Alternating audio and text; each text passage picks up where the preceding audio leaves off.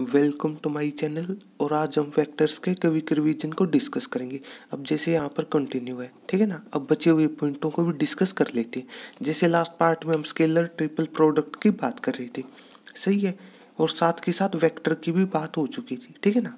मतलब scalar triple product और एक चीज़ होगी वैक्टर वाली, ठीक है ना? मतलब दोनों की बेसिक चीज़ों का मतलब क्या था? वो डिस्कस हो चुका आपके साथ। सही है? ये दो टाइप है। ठीक है ना? अब वैसे देखा जाए तो सिलेबस में आपके पास ये टाइप बचेगी, ठीक है ना? लेकिन एक स्पेशल टाइप का न्यूमेरिकल यहाँ से बनता है। लेकिन उससे पहले चलो कुछ और बातें आपके साथ डिस्कस कर लेते हैं। तो मतलब देखो जब लास्ट पार्ट में ये बताया था आपको कि जो स्केलर ट्रिपल प्रोडक्ट है, वो किसको रिप्रेजेंट करता है? ये तो बात डिस्कस हो चुकी थी ना? किसको रिप्रेजेंट करेगा? Volume of a parallelepiped सही है?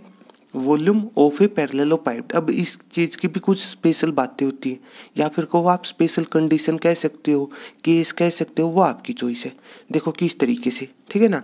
पैरेललोग्राम, सही है, लेकिन यहाँ पर सॉरी पैरेललो पाइप्ड होगा, ठीक है ना? पैरेललो पाइप्ड होगा तो इस तरीके से। अब जैसे यहाँ पर, चलो हमने मतलब जो पैरेललो पाइप्ड है ना, वॉल्यूम को वी मान लिया। सही है? एक यहीं पर, एक इसी की टाइप कह सकते हो आप। या फिर केस का ठीक है ना? मतलब एक चीज़ आएगी आपके पास टेट्राएड्रोन ठीक है ना? टेट्राएड्रोन और उसका मतलब होता है कि उसका भी बात वही है टेट्रा पहले तो वो पता होना चाहिए आपको कि जो टेट्रा है, जैसे नाम में लिखा होता है टेट्रा का मतलब चार मतलब उसके अंदर चार वर्टेक्स हैं चार फेस होंगे ठीक है ना? इस तरीके की बातें मतलब इस ज्योमेट्री के बारे में सीखना हो तो मतलब वेक्टर्स की जो प्ले लिस्ट है, वहाँ से आप ये चीज़ चेक कर लेना। आपको पता चल जाएगा। सही है? तो टेट्राएड्रोन में भी आप यही बात होगी कि वॉल्यूम निकालना होता है। ठीक है ना?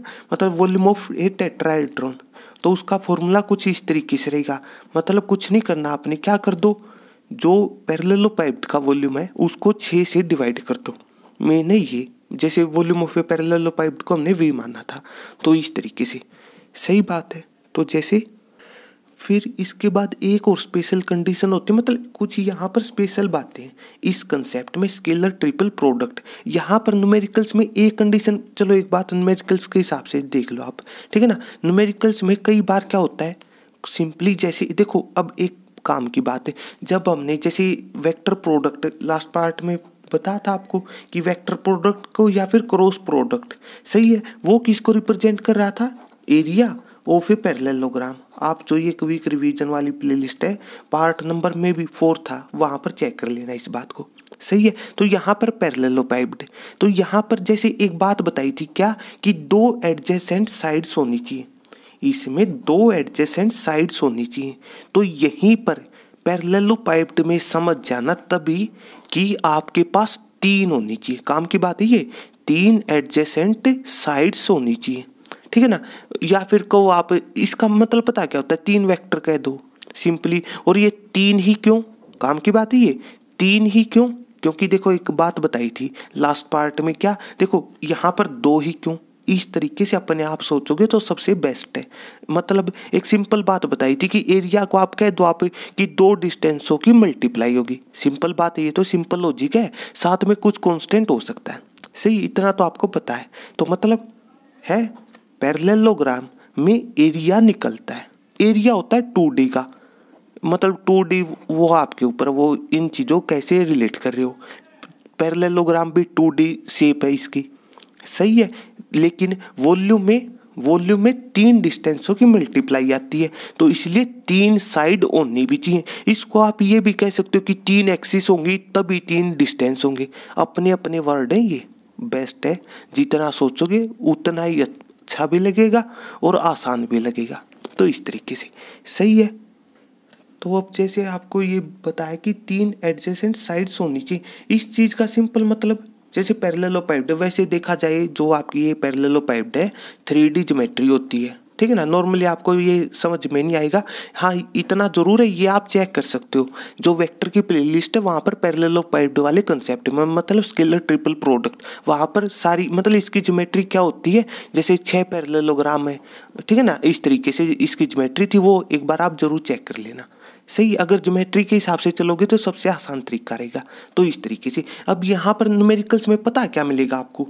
ये वर्ड मिलेगा डायरेक्ट कि को प्लेनर शो करो। देख लेना, अब है, अब तक दो, जो सीखा वो तो ज्योमेट्री के हिसाब से।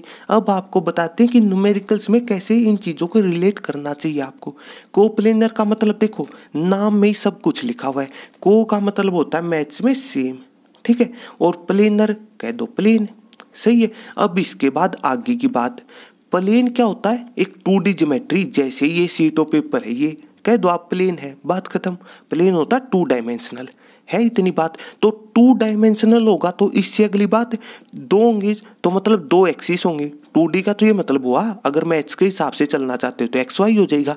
डेली लाइफ के हिसाब से चलना चाहते हो, कह दो आप लेंथ और ब्रेथ कह दो। है आसान। इस तरीके से रिलेट किया करो। अब दो एक्सिस होंगे तो उन पर दो डिस्टेंस होंगे, इतनी बात भी सही है। अगर दो डिस्टेंस हैं, तीसरा तो होगा नहीं। समझ लेना इस बात को? तीसरा होगा नहीं तो मतलब तीसरा ज़ीरो होगा ना होने का मतलब। मतलब उसकी वैल्यू ज़ीरो होगी। सही है? और इसीलिए कह दो कोप्लेनर के न्यूमेरिकल में वॉल्यूम है ना वॉल्यूम को आप ज़ीरो शो कर दो। बात खत्म। वॉल्यूम किसका? पैरेललो पाइप्ड का। Volume of a parallelepiped इस तरीके से। है आसान volume of a parallelepiped को ज़ीरो शो कर दो, या फिर आपको इसी को स्केलर ट्रिपल प्रोडक्ट भी कह सकते हो। मतलब तीन वेक्टर होने चाहिए। है आसान चीज़, इस तरीके से रिलेट किया करो। ये बात आई कहाँ से? यहाँ से निकल कर आती है। सही है? तो वो और वो आपकी भी चॉइस है। इसी को आप स्पेशल बच्चे तभी यहाँ पर ये कह सकते हैं कि वॉल्यूम ऑफ़ ए टेट्राइड्रोन में भी तो वो था। सही है ना? वन बाई सिक्स करना था। अब ज़ीरो बाई सिक्स ये वाली मतलब है तो वही बात है, ज़ीरो है। है आसान तरीका। तो ये को प्लेनर का मतलब होता क्या है कि ऐसा क्या हुआ कि डायरेक्ट ये चीज़ ज़ीरो पुट कर दी? इस तरीके से सोचोगे जोमेट्री के हिसाब से ये चीज़ें अपने आप सीख जाओगे। सही है? तो इस तरीके से और डेली लाइफ से भी रिलेट कर लिया करो इन छोटी छोटी बातों को। सही है? तो इस तरीके से अब यहाँ पर तीन एडजेसेंट साइड्स का मतलब एडजेसेंट वर्ड का मतलब होता है लगातार। तो इस बात का मतलब जैसे न्यूमेरिकल्स में आपके पास सोचने के हिसाब से चलो, आपके पास चार वेक्टर हो। समझ लेना इस बात को? चार वेक्टर हो, या फिर हो सकता है कि आपके पास चार पॉइंट हो। चार पॉइंट तो देखो ये तो बता था कि पॉइंट से वेक्टर लिखने का तरीका, किसी पॉइंट से वेक्टर लिखने का तरीका I cap J cap K cap के रिस्पेक्टिव मल्टीप्लाई कर दो, सभी को ऐड कर दो। ये सारी चीज़ें आपके साथ डिस्कस हो चुकी है, ठीक है? तो यहाँ पर डायरेक्ट यूज़ नहीं करने। क्या करना आपने? कि किसी एक को तो रेफरेंस मानो। इस चीज़ में किसी एक को रेफरेंस मानो। देखो, इतनी बात आपकी सही है कि कोप्लेनर में स्केलर ट्रिपल प्रोडक्ट तो मतलब जिसका सिंबल ये भी था ना, और तीन वेक्टर आएँगे मतलब स्क्वेयर ब्रैकेट के अंदर तीन वेक्टर सही है? तो किसी एक को रेफरेंस मान लो। चलो, एक के हिसाब से लिख लिया मतलब हमने एक ए बी वैक्टर निकाल दिया, एक ए सी निकाल दिया, एक ए डी निकाल दिया। सही है? उसको ज़ीरो से कर देना। तो इस तरीके से मतलब कोप्लेनर के न्यूमेरिकल्स में आपके पास चार पॉइंट मिलेंगे। और कोप्लेनर शो करने के लिए हमें तीन वेक्टर चाहिए हैं अंतर है इस बात में। चार पॉइंट कह तो सकते हो आपकी इन चारों वेक्टरों में से क्या, जैसे किसी पॉइंट से वेक्टर लिखना आता हमें। इतनी बात आपकी सही है। इसमें, इस चीज़ में अंतर पता है क्या? देखो अब इस चीज़ का मतलब है क्या? देखो को प्लेनर का मतलब कोई प्लेन सोच ले, जैसे सीट ऑफ़ पेपर या फिर इस तरीके से डायग्राम सोच लिया। उसके अंदर है चार पॉइंट।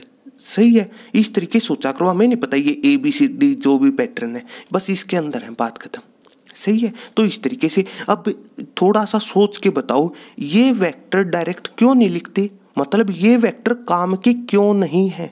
क्योंकि ये वेक्टर होते हैं ओरिजिन से। वेक्टर का मतलब बताया था कि डायरेक्टेड लाइन सेगमेंट या फिर कह दो दो पॉइंटों से बनकर मिलता है वेक्टर आपकी बात सही है। तो दूसरा पॉइंट इन केसों में बना ओरिजन लेकिन हमें न्यूमेरिकल्स में ये नहीं पता होता कि जो ओरिजन है, वो इस प्लेन पर होगा या फिर नहीं होगा।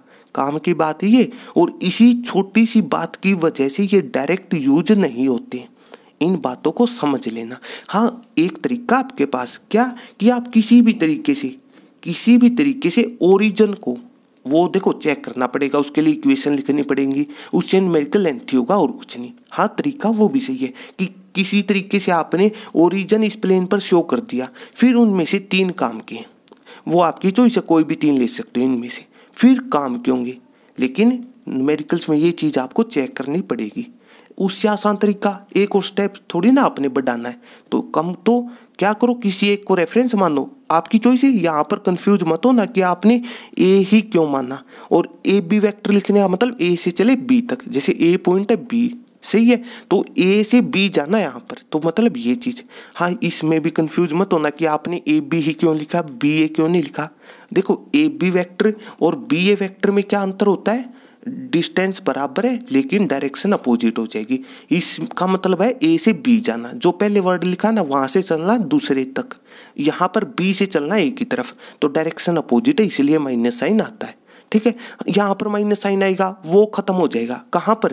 देखो ए बी वैक्टर और बी ए वैक्टर में हमें पता है माइनस साइन आएगा, लेकिन वो माइनस अपने आप खत्म हो जाएगा राइट हैंड साइड में।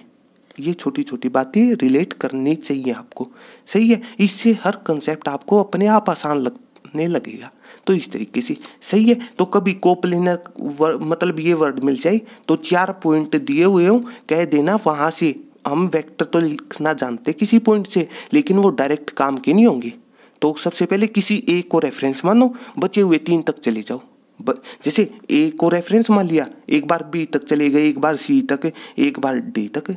इस चीज़ का ये मतलब था, तीन वेक्टर आ जाएँगे। सही है? वो आपकी चॉइस है, जो भी रेफरेंस मानना चाहते हो, और scalar triple product zero prove कर देना। तो को प्लेनर यहाँ से भी एक न्यूमेरिकल बनता है। ठीक है ना? टाइप्स हैं, और कुछ नहीं। सही है? तो इस चीज़ का ये मतलब है। नाम, देखो, इस चीज़ का सबसे आसान तरीका, देखो कि ये बात तो अपने आप आई थी। को का मतलब सेम प्लेन यहाँ से हम सोचना शुरू करेंगे। बस अपने आप ये चीज़ें निकल कर आ जाएँगे आपके सामने। तो इस तरीके से। सही है तो एक तो ये मतलब इम्पोर्टेंट पॉइंट रहेगा। साथ के साथ कुछ और इम्पोर्टेंट पॉइंट इस चैप्टर के, वो हम इसी तरीके से नेक्स्ट पार्ट में समझ लेंगे। सबसे आसान तरीका डेली लाइफ से रिलेट किया करो कि ये टू डी जोमेट्री ये थ्री डी है, इस तरीके से। देखो तो हमने वॉल्यूम का कहीं पर भी फॉर्मूला नहीं लिखा। सिंपली ये कहा था कि वॉल्यूम होता है तीन डिस्टेंसों की मल्टीप्लाई तो यहाँ पर पता क्या हुआ है? डिस्टेंस इनटू डिस्टेंस और तीसरा ज़ीरो हो चुका है, क्योंकि तीसरा डिस्टेंस था ही नहीं। इस वजह से ज़ीरो रिज़ल्ट आया यहाँ पर। इस में इस, ये ज़ीरो भी आपको इस तरीके का सोचना है कि ज़ीरो इंटू दो नंबर हैं, ज़ीरो से अलग है।